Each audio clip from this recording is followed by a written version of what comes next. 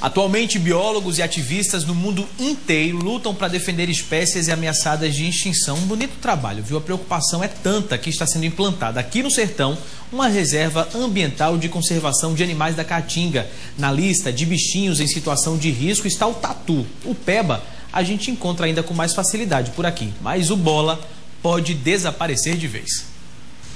No Parque Zoobotânico do Batalhão do Exército há muitas espécies de animais da Caatinga. Entre eles, o tatu-peba, típico da região. É um animal onívoro, se alimenta de tudo.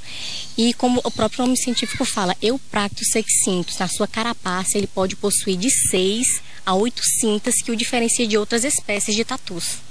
A espécie é uma das presas preferidas da ação dos caçadores. E para fugir das ameaças, o animal se esconde.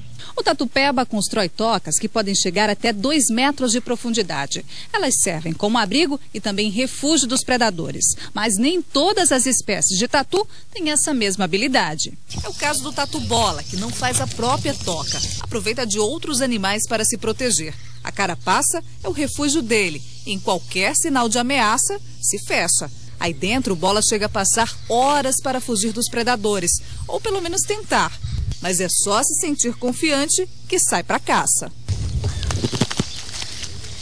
Esse aqui estava em cativeiro, foi recuperado pelo Ibama e trazido para o Centro de Conservação e Manejo de Fauna da Caatinga, o SEMA Fauna e Petrolina, onde é acompanhado por especialistas. Foi é, feito o tratamento e todos os exames necessários para a integridade física dele e ele está bem, né, como a gente pôde ver, e se alimentando, conseguindo é, provavelmente voltar à natureza num segundo momento. Dócil e de fácil captura, a espécie está na lista do IBAMA de animais ameaçados de extinção. A lista oficial está ameaçado, mas como já está reduzido, ele está passando para uma lista que é mais grave, de vulnerável, que é para ser mais preservada ainda. Seu Francisco lembra do tempo que encontrava facilmente tatus bola na comunidade de Barra Bonita, em Lagoa Grande. De primeiro tinha aqui tatu bola. Mas foi, ele, é ele era uma cacinha muito besta, foi se acabando que ele, ele não sabe se esconder do, do cachorro da gente. Porra, acabaram. Os caçadores da Lagoa Grande dando aranha no mato acabaram mesmo. Hoje em dia? Ninguém vê nenhum. Nenhum. Essa área está dentro do perímetro do refúgio de vida silvestre criada pelo governo de Pernambuco para garantir a reprodução de animais ameaçados. O espaço de 110 mil hectares de extensão entre os municípios de Lagoa Grande, Santa Maria da Boa Vista e Petrolina foi batizado com o nome de Tatu-Bola. Mas a novidade preocupa seu Francisco e muitos outros moradores da área da reserva, que temem perder as terras. As conversas que a gente vê, umas conversas tudo feias pra gente não é bonita nada. Aí a gente fica todo mundo nervoso. Já pensou eu ser dono de minha terra e, e chegar e, e invadir e eu ficar só conversando? E indenização que vier desse tamanho eu não, não quero nem ver. Deixa como está mesmo. Mas pode ficar aliviado, seu Francisco. De acordo com esse biólogo do projeto, isso não vai acontecer. Não ocorrerá nenhum tipo de desapropriação, né? O que nós temos agora é apenas é, aprender a conviver com a nova realidade da unidade de conservação, que é, na verdade, uma grande oportunidade para todos nós como pernambucanos e principalmente para aqueles que estão no entorno e no interior do refúgio de vida silvestre. A criação do ambiente de conservação já foi publicada no Diário Oficial do Estado. Agora resta saber como os tatu-bola e outros animais vão viver em harmonia com os produtores. Você não pode ter a unidade de conservação é, prejudicando a produção, mas a produção também não pode prejudicar a, unidade de conservação. Então, aliar isso, esses dois, eu acho que é o grande o grande desafio né, da sociedade. Com certeza, com muita responsabilidade e trabalho, tudo vai dar certo e os animais e o homem vão poder conviver aí com mais harmonia, como era para acontecer desde sempre, né? Assim como o tatu, outros animais também fazem parte da fauna da Caatinga. E você pode conhecer algumas espécies no Museu do Semafauna. É que o centro abriu espaço para receber visitas escolares. Paulo Ricardo Sobral volta agora ao vivo e explica para gente como deve ser feito o agendamento.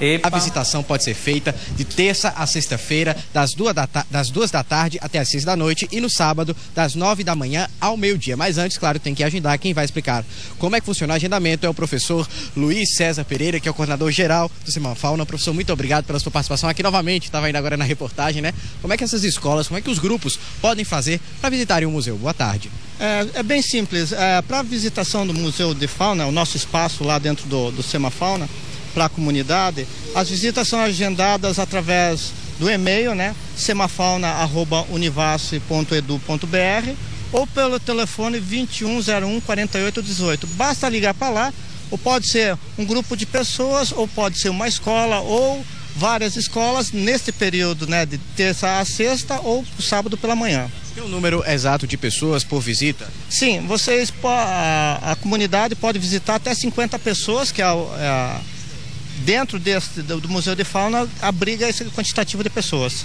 Professor, vamos agora falar sobre o acervo do museu. Quais são os bichos que tem lá? Lembrando que são bichos taxidermizados, que significa dizer que eles estão empalhados, não é isso?